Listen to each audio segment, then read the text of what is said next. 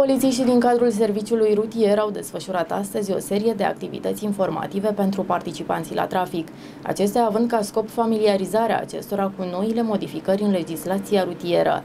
Acțiunea a inclus prezentarea aparatelor drag și etilotest utilizate în activitățile curente, dar și oferirea de recomandări specifice pentru conducerea în condiții de siguranță în contextul temperaturilor ridicate, dar și pentru prevenirea oboselii la volan. Conform noilor reglementări intrate în vigoare la 15 iulie 2024, în cazurile de retragere a permisului de conducere din cauza refuzului sau imposibilității persoanei de a se supune testării pentru consumul de substanțe psihoactive sau alcool, permisul va fi returnat pe baza buletinului de analiză toxicologică care confirmă absența acestor substanțe în organism. Data de 15 a 7 a 2024, la ora 18 a intrat în vigoare ordonanța de urgență a Guvernului 97 per 2024 24.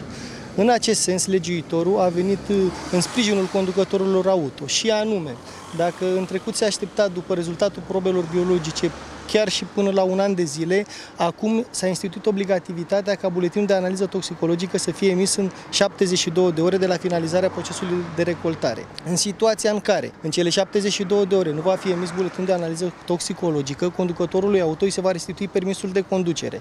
Astfel, dacă în trecut se stătea după permisul de conducere până când venea buletin de analiză toxicologică, fiind perioade foarte lungi de timp, acum în 72 de ore avem clar situația dacă va, se va restitui sau nu permisul de conducere. Pentru că în situația în care uh, va veni buletin de analiză toxicologică, permisul de conducere, iar va fi, rezultatul va fi pozitiv, bineînțeles vom proceda în consecință și nu va fi restituit permisul de conducere, în situația în care va fi negativ, îi se va restitui permisul de conducere conducătorului auto.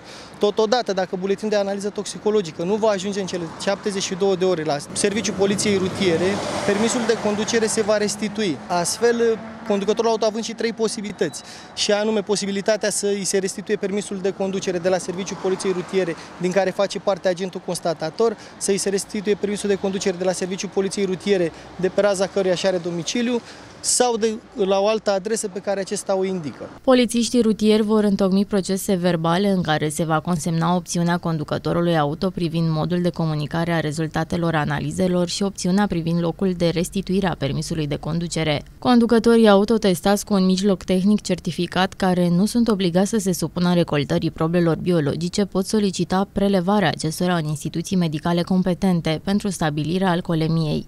Aș vrea să știu dacă este pentru prima oară când ești oprit în trafic. Nu, nu, am mai fost oprit. Ai mai efectuat vreodată un uh, drag test? Da. Cum ți se par aceste măsuri? Foarte bune. Sunt importante, să înțeleg, pentru siguranța cetățenilor. Da, da, da. Prin aceste demersuri, polițiștii rutieri își propun să reducă numărul incidentelor rutiere și să informeze corespunzător șoferii cu privire la responsabilitățile și drepturile lor conform noilor reglementări legislative.